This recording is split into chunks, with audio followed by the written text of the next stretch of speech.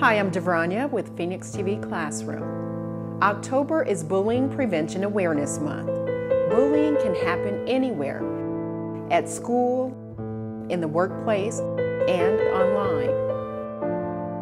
A sense of belonging and a feeling of importance is crucial for students, perhaps even more so this school year. Students should feel empowered, knowing they have a voice not only for themselves, but also their classmates. Throughout the month of October, Phoenix TV Classroom will feature programs on how to deal with bullying for both victims and bystanders. There's even a program that asks a series of questions to determine if you are a bully. Please join us for this special programming on bullying prevention right here on Phoenix TV during the Phoenix TV Classroom Hour.